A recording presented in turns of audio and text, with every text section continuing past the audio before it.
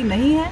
आने वाले हर महिला हमारे देश की हो या प्रदेश से आई हुई महिला हो महिलाओं का सम्मान ही होना चाहिए। हाँ। कोरियन लड़की के साथ छेड़छाड़ का मामला मुंबई में सामने आया बहुत ही दुर्भाग्यपूर्ण और बहुत ही दुखद ऐसी घटना। मुंबई जैसे शहर में खार ऐसे अ, खार उपनगर में वहाँ पे हुई है।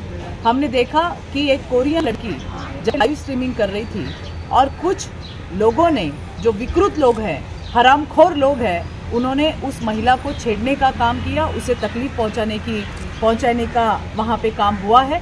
हम इस बात का तीव्र निषेध करते हैं, महाराष्ट्र की हमारी ये संस्कृति नहीं है। आने वाले हर महिला, हमारे देश की हो या प्रदेश से आई हुई महिला हो, महिलाओं का सम्मान ही होना चाहिए। और कोई विकृत हमने देखे किस प्रकार से उन्होंने उस महिला को तकलीफ़ दी? आज तो मुझे अभिनंदन करना है मुंबई पुलिस का।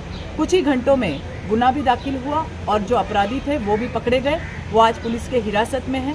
लेकिन ये कहते हुए मुझे दुख भी हो रहा है कि ये सारी घटना हो रही थी।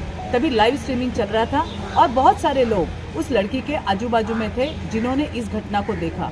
लेकिन उन्होंने सिर्फ़ देखा ही मदद किसी ने नहीं की। इससे भी एक सीख लेने की ज़रूरत है हमें समझने की ज़रूरत है। अगर कोई महिला, कोई लड़की हमें तकलीफ़ में दिखती है तो हम सिर्फ़ देखने की भूमिका ना निभाते हुए उसे मदद के लिए जाना चाहिए और इस प्रकार की मदद उस लड़की को नहीं मिली है। मुंबई कर हो या महाराष्ट्र की जनता हो, सभी से मुझे कहना है, इस प्रकार की अगर घटनाएँ घटती है तो सिर्फ़ देखिए मत, लड़कियों की मदद के लिए आगे आइए। पुलिस तो है ही, पुलिस ने अपना काम किया है, सरकार है, सरकार अपना काम कर रही है। लेकिन एक सिटीजन होने के नाते, हमारे माँ बहन के साथ अगर इस प्रकार की घटनाएँ होती है तो उसका प्रतिकार भी हमें करना चाहिए।